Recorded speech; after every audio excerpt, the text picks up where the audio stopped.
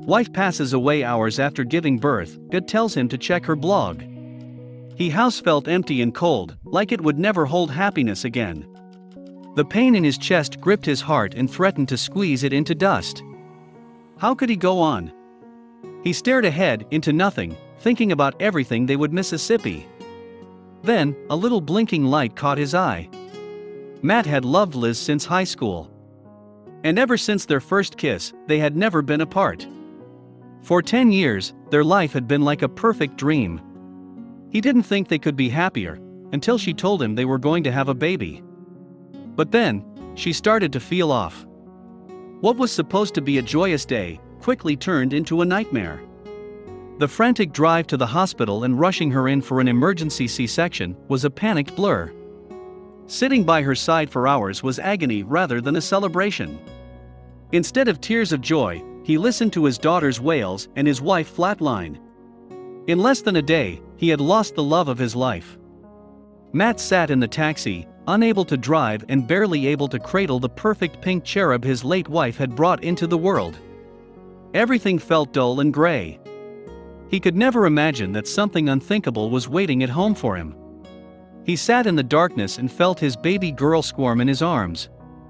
He desperately tried to figure out what to do. More than anything, he wanted to numb the pain, to escape from the world and everything in it. But he suddenly realized that meant his daughter would also be without a father. Out of the corner of his eye, he saw a tiny notification light blink on her still open laptop. She had spent hours on it, crafting amazing stories and weaving tales that were better than any video or snapshot. For some reason, Matt found himself opening her blog. There were new comments. Matt looked between the screen and his daughter, Maddie. He had a choice. He could fall into sadness, or he could be the father he dreamed of, and help what was left of his wife grow up. He rested his hands on the keyboard and opened the blog. It was like his fingers moved on their own. Words and feelings poured out. Memories, stories, and musings took shape. Over the next few months, he found himself in the same position his wife had been in, addicted to writing. But his gut told him there was more. He pored over the comments old readers had passed on and new ones had offered. They loved her so much and their kind words made his heart lift a little. And when he finally got to the most recent notes, he couldn't believe his eyes. People wrote in with sympathy and advice for the new father. They loved his thoughts on parenting and the brutal honesty of his struggle. Things took a new and even more astounding turn when the doorbell started to ring like crazy. Gifts from all over the world poured in, everything from diapers to nail clippers.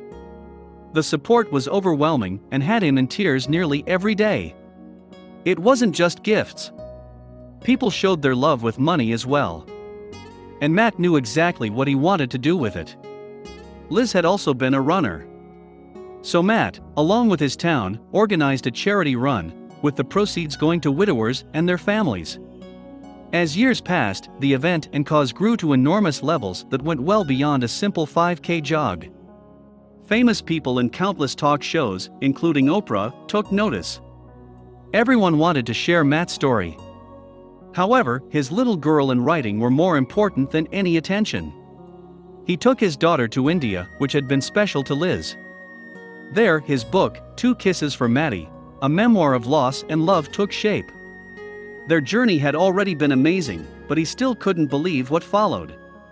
Life turned into bestseller lists, Hollywood offers, and children's book publications.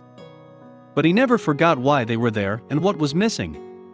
Part of him watched with pride as his girl grew up, but the pain stayed as he watched just how much she looked like Liz. And it wasn't just an appearance.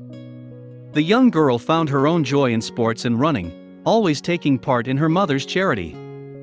He shed tears of joy when she took it upon herself to raise money for other causes as well. He knew for certain that, somewhere, her mother was looking down on them and smiling.